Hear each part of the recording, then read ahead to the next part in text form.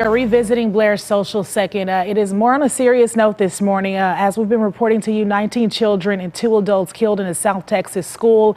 Uh, many of those victims, uh, some of them still in the hospital this morning. We asked you all uh, what policies or changes could be made to make you feel safe uh, sending your children to school and also keeping those teachers safe. We heard from hundreds of you this morning on this topic.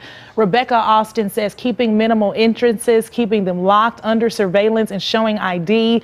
We do not need guns within the schools. That will not stop it. Might keep the death toll down, but we need to stop things before they happen. We also heard from Melissa Schmidt Keisler this morning. She said, I think the issue is lack of mental health in our country for all.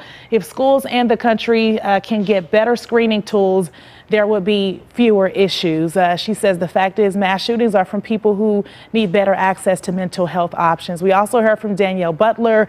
Uh, she says she teaches at an elementary school. Security guards would be preferred. There have been issues with people in the community who disregard signs about not being on school property during the day. So hundreds of answers for you all. We would like you to weigh in on this topic as many of you, our viewers, are parents. Visit our Facebook page, Fox 2 Now. We'll be right back after this.